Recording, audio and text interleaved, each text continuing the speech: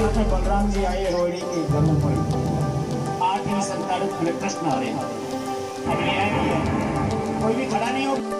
बड़ी सुंदर कथा होगी माखन चोरी होगी भैया मेरे ने माटी खाई घेरो किसने कराई